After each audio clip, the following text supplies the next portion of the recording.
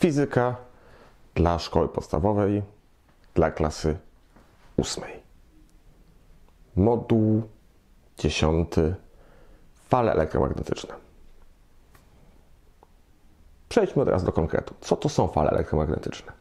No cóż, tak z definicji, no to są takie fale, które są jak każde fale zaburzenie, czyli jakąś czyli powtarzalną zmianą czegoś rozchodzącą się w przestrzeni, tylko to, co jest w tym przypadku zaburzane, to nie jest położenie czegoś jak w przypadku fal mechanicznych, tylko takie abstrakcyjne pojęcia jak natężenie pola elektrycznego i natężenie czy też indukcja pola magnetycznego. I technicznie wygląda to tak, że jeśli na przykład fala elektromagnetyczna biegnie ode mnie do przodu, to w jakichś kierunkach prostopadłych do siebie i do niej drgają pole elektryczne i pole magnetyczne. Czyli na przykład pole elektryczne drga w pionie, a magnetyczne w poziomie.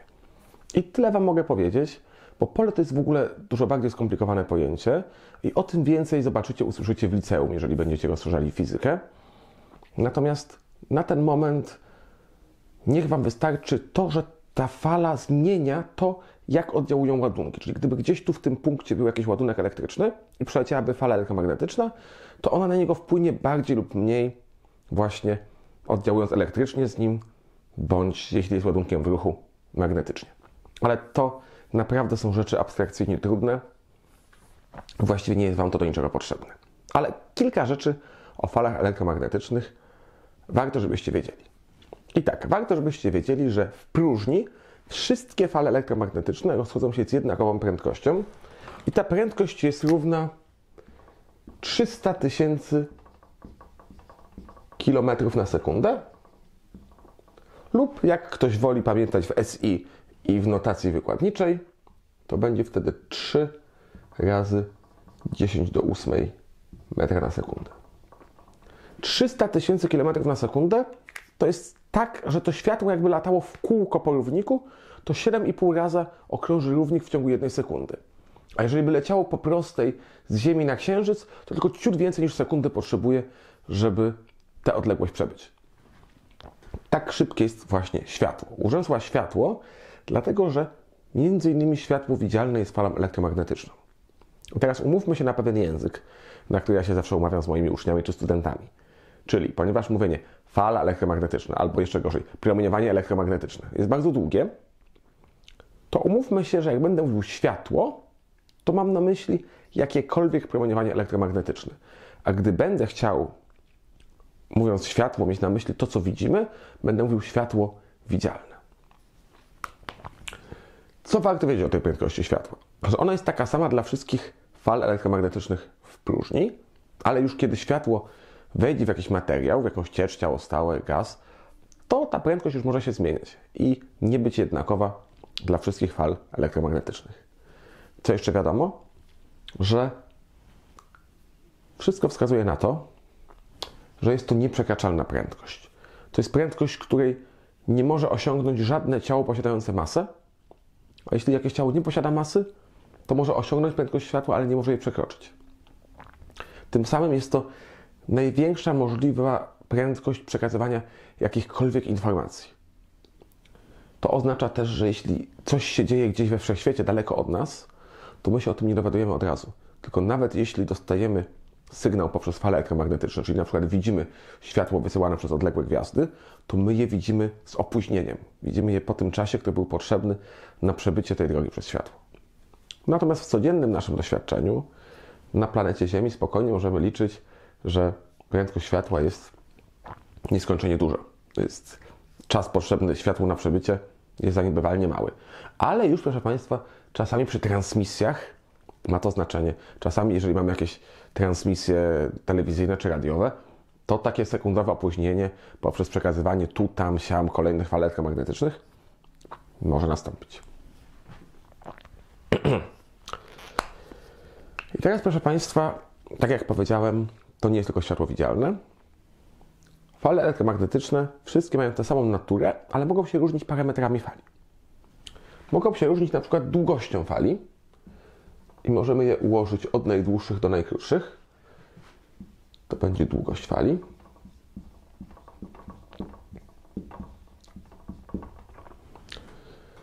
A ponieważ wszystkie mają tę samą prędkość, to proporcjonalny do długości fali jest okres.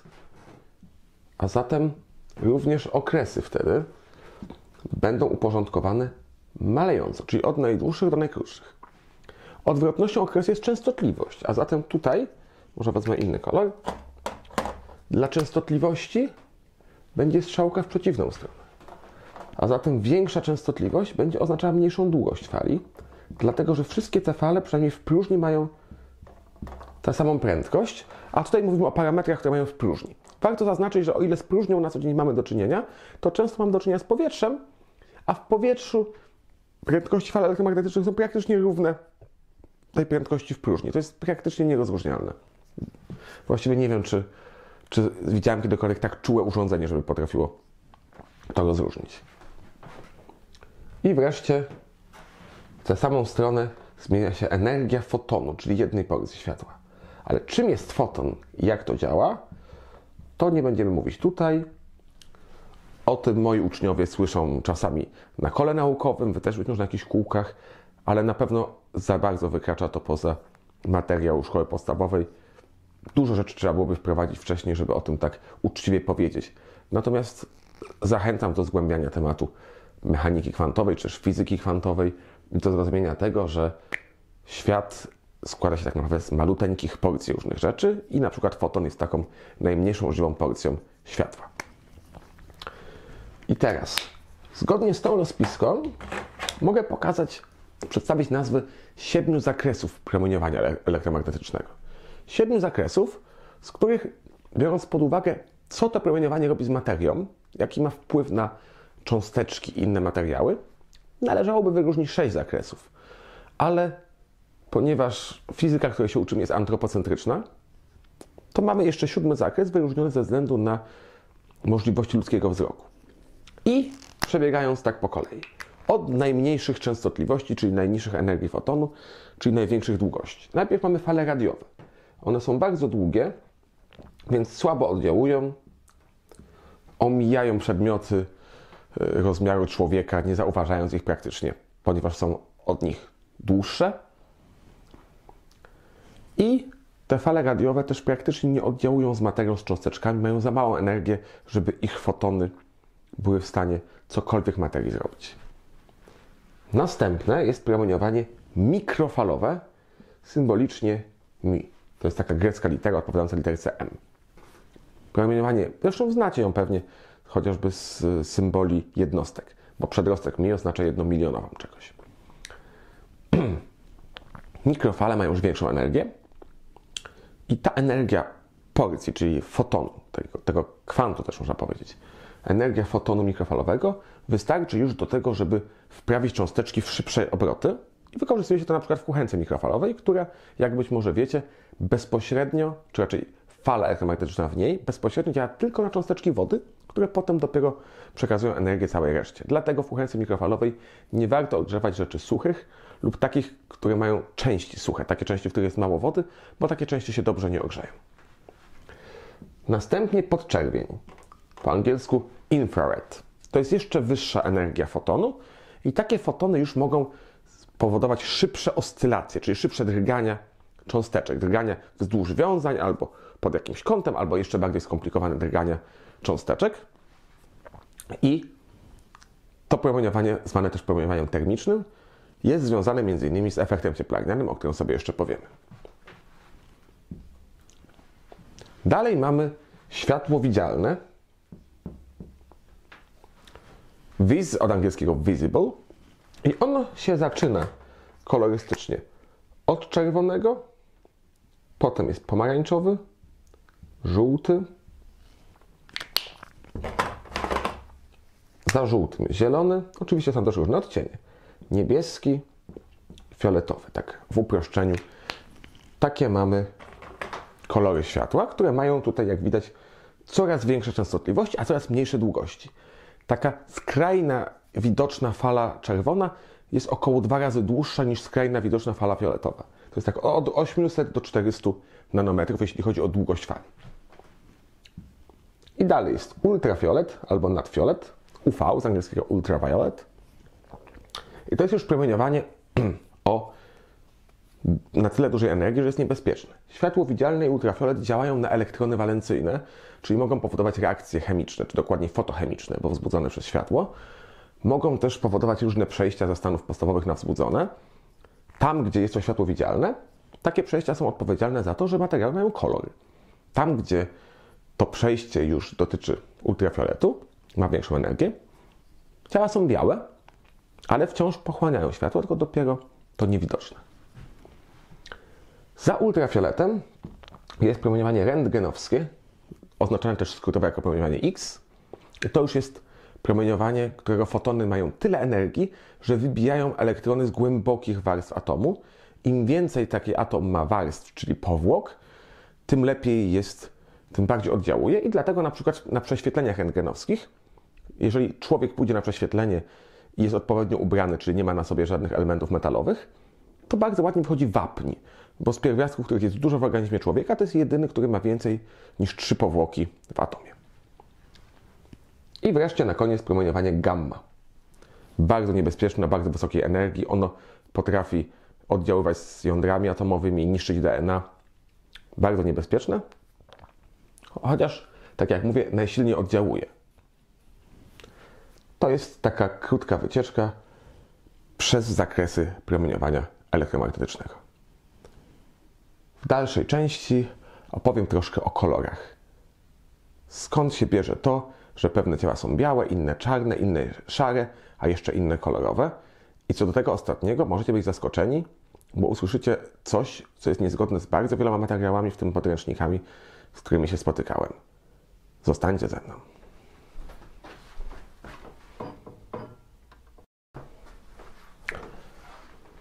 Sebastian Wojciesiak, fizyka dla klasy ósmej, moduł 10, fale elektromagnetyczne, odsłona druga. Widzicie tutaj na tablicy imię greckiej muzy. Ale zostajemy przy fizyce, nie przechodzimy do mitologii greckiej. To jest tylko taki mnemonik, który mi samemu ułatwia zapamiętanie wszystkich możliwych oddziaływań pomiędzy światłem a materią. Jest ich pięć, jak widać. I te literki są od ich nazw, czasami polskich, czasami tych bardziej łacińskich, ale tak, żeby je rozróżnić. I tak, E oznacza emisję. R rozpraszanie. A to jest absorpcja. T transmisja i O to odbicie. O co w nich chodzi? Tak bardzo pokrótce. Absorpcja, czyli po polsku bardziej pochłanianie, to jest zjawisko, które polega na tym, że jest sobie materia, jest sobie światło, światło trafia na materię, nie ma światła, a materia zyskuje energię. Czyli światło znika w materii. Materia przejmuje całą energię tego światła, światła nie ma. To jest absorpcja. Odbicie jest wtedy, kiedy światło pada na materię, a po odbiciu wylatuje natychmiast pod kątem, który można łatwo przewidzieć zgodnie z tak zwanym prawem odbicia, czyli że kąt padania jest równy kątowi odbicia, to będzie w następnym module. W związku z tym żadna energia nie została przekazana. Transmisja to jest przejście na wylot. O transmisji mówimy wtedy, kiedy ciało jest przeźroczyste. Czyli światło lub część światła przechodzi na drugą stronę, nie tracąc energii. Często jest, proszę Państwa, tak, że mamy wszystkie trzy rzeczy. Absorpcja, transmisja, odbicie. Czyli część światła się odbije, część zostanie pochłonięta, czyli zaabsorbowana, a część przejdzie, czyli ulegnie transmisji. Po prostu. Rzadziej mam do czynienia z emisją. Emisja jest wtedy, kiedy to ciało jest źródłem światła. Czyli z ciała wychodzi światło, ciało świeci. I rozpraszanie to jest najtrudniejsze tutaj do wyjaśnienia zjawisko, bo to jest sytuacja, w której jednocześnie jakiś foton jest pochłaniany, a inny foton w inną stronę jest emitowany. To jest bardzo dziwne, nietypowe, ale spotykacie się na co dzień z rozpraszaniem różnego rodzaju, chociażby obserwując światło padające w jakiś zamglony teren, albo na przykład jakiś wąski korytarz szkolny, malutkie okienko, nagle pada słońce, pada światło słoneczne przez okno i widać pięknie unoszący się kurz. To to, że go widać, to właśnie dlatego, że światło się na nim rozprasza. I teraz użyjemy tych pojęć po to, żeby wyjaśnić, co to znaczy czarne, białe, szare i kolorowe. Zresztą pewnie część z Was wie. Ciało czarne to jest takie ciało, które pochłania całe padające światło. Jeśli powiemy ciało doskonale czarne, znaczy, że pochłania cały zakres światła, od radiowego do gamma. Jeśli powiemy po prostu czarne, to wystarczy, że pochłania światło widzialne. Czyli to, co widzimy jako czarne, to jest takie ciało, które pochłania światło widzialne. W 100%. Ciało białe z kolei odbija w 100% światło. Niczego nie pochłania, wszystko odbija. To, czy jest przeźroczyste, czy nie, to jest osobna sprawa, to jest transmisja. Ale na razie omijamy to, mówimy tylko o odbijaniu i pochłanianiu. Teraz, co to jest ciało szare w takim razie? Szare to jest takie ciało, które trochę odbija, a trochę pochłania. Ale momencik, co to znaczy, że ciało jest kolorowe, czyli żółte, zielone, pomarańczowe? Kolorowe jest wtedy, kiedy trochę pochłania, a trochę odbija. Gdzie jest różnica między szarym a kolorowym? A no, różnica jest tam, że jeśli spojrzymy na zakres światła widzialnego, i tam są w ramach tego światła widzialnego fale o różnych długościach, czyli częstotliwościach, czyli kolorach. W uproszczeniu 6 kolorów, ale tak naprawdę dużo, dużo więcej, bo każda długość fali to będzie subtelnie inny kolor. To proszę Państwa, żeby było szare, to musi porówno pochłaniać te wszystkie kolory. Czyli w 10% pochłania, to jest takie srebrne, takie jaśniutkie, w 90% to jest popielate, tak bardzo, bardzo ciemne, ale istota jest taka, że wszystkie kolory porówno, wszystkie długości fali porówno. Wtedy jest szare. Jeśli nie, to wtedy jest kolorowe. Spójrzmy, jak to będzie wyglądało na wykresach. Jeśli zrobimy sobie wykres absorpcji,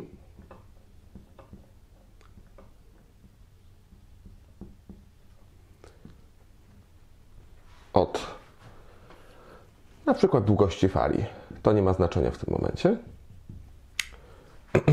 I tutaj jakiś zakres już. Nie zaznaczajmy, jaki to jest ten widzialny, to, to nie jest tak istotne. 400-800 nanometrów, jakby ktoś chciał wiedzieć.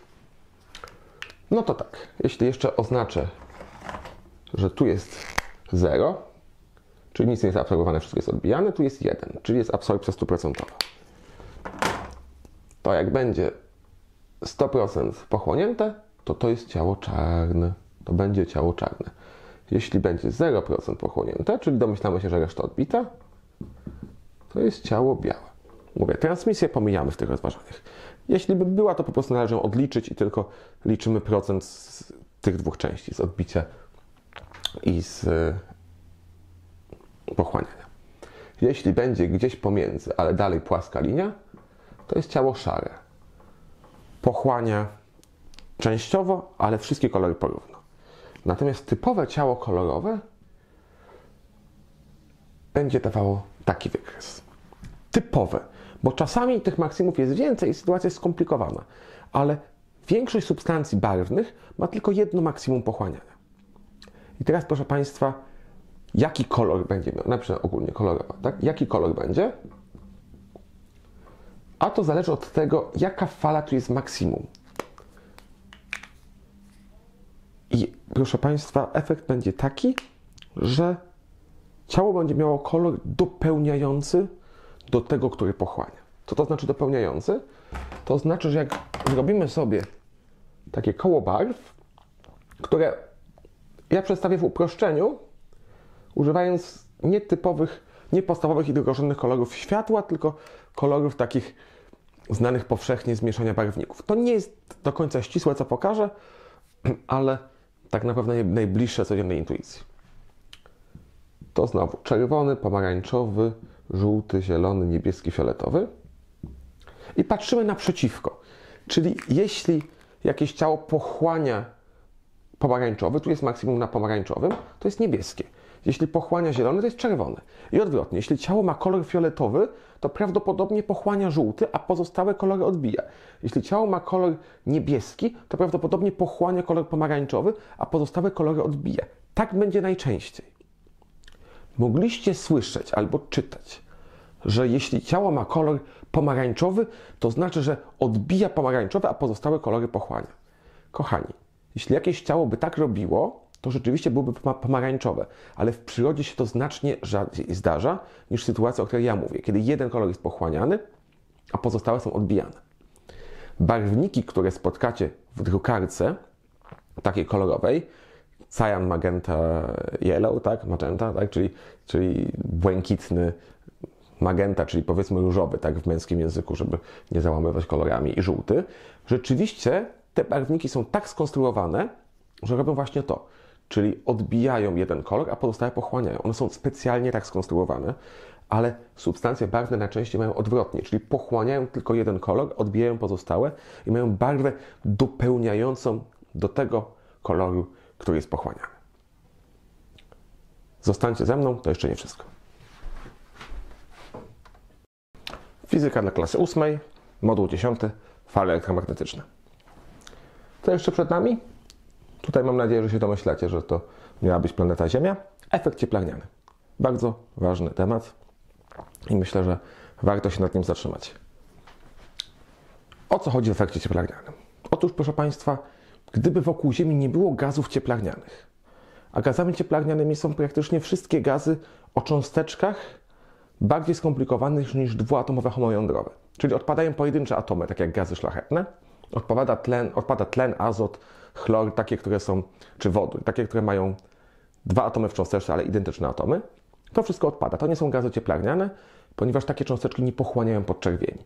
Natomiast wszystkie bardziej skomplikowane cząsteczki z dwutlenkiem węgla, wodą, metanem na czele pochłaniają podczerwień i dzięki temu wpływają na temperaturę na Ziemi. Szacuje się, że średnia temperatura na Ziemi, gdyby nie było w ogóle gazów cieplarnianych, w tej odległości, jaką, w jakiej Ziemia jest od Słońca, wynosiłaby około minus 20 stopni Celsjusza, więc trudno sobie wyobrazić życie takie, jak dzisiaj znamy. Dzięki gazom cieplarnianym ta temperatura jest wyższa. Im więcej tych gazów cieplarnianych, tym bardziej temperatura powierzchni Ziemi rośnie. Nie jest to jedyny czynnik wpływający na to, ale jest zgoda wśród 97% naukowców, że to efekt cieplarniany i to ten wkład człowieka w efekt cieplarniany są głównymi powodami tego, że średnia temperatura na Ziemi od kilkudziesięciu lat rośnie, przy czym ostatnio w zastraszającym tempie. W XXI wieku było bodajże 15 najcieplejszych lat w historii notowania temperatury na świecie, także proszę Państwa, nie ma żartów i są bardzo przekonujące animacje w internecie, które pokazują te statystyki w taki sposób yy, robiące wrażenie. Może coś podlinkuję pod tym filmem. I teraz tak. Te gazy cieplarniane gdzieś tam są zawieszone w atmosferze. Można by warstwę narysować, ale warstwa nie oddaje dobrze tego, o co chodzi, bo to są jednak pojedyncze cząsteczki, które gdzieś tutaj są. I teraz o co chodzi? Ano, wpada sobie promieniowanie ze Słońca i teraz chodzi nam głównie o podczerwień, tak? bo to ona co najsilniej oddziałuje i ona jest tym promieniowaniem termicznym.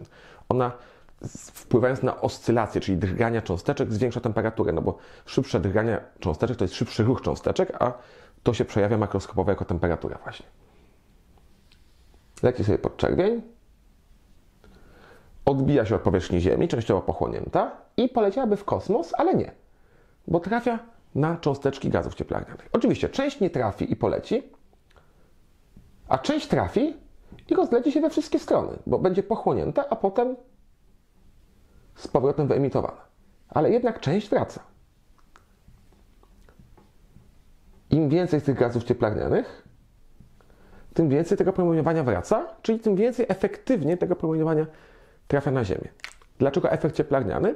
No bo cieplarnia, czyli szklarnia, działa trochę na tej samej zasadzie. Są, sobie, są warzywka, dookoła obudowane szkłem i to szkło sprawia, że światełko, które wpada, nie wypada od razu, tylko się trochę wyodbija od tego szkła, więc efektywnie więcej światła dociera do tych naszych pomidorków, ogóreczków i różnych innych warzyw, które trzymamy w szklarni.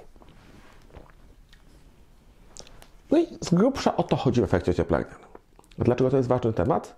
Bo proszę Państwa, temperatura na Ziemi rośnie i coraz więcej czytam na temat tego, jakie są możliwe zagrożenia. Kiedyś mówiło się, że oceany się podniosą, ale wygląda na to, że to jest mały pikuś. To znaczy, bardzo niewielki procent ludzi mieszka na terenach zagrożonych zalaniem w przeciągu najbliższych, w ciągu najbliższych kilkunastu, kilkudziesięciu lat z powodu globalnego ocieplenia. Ale są gorsze sprawy. Susze. Grożą nam ogromne susze. Tereny, na których mieszka być może nawet ponad miliard ludzi, nie będą się nadawały do zamieszkania. Tak będzie gorąco i sucho. Plony zbóż. Tutaj będzie gwałtowny spadek, będą trudności.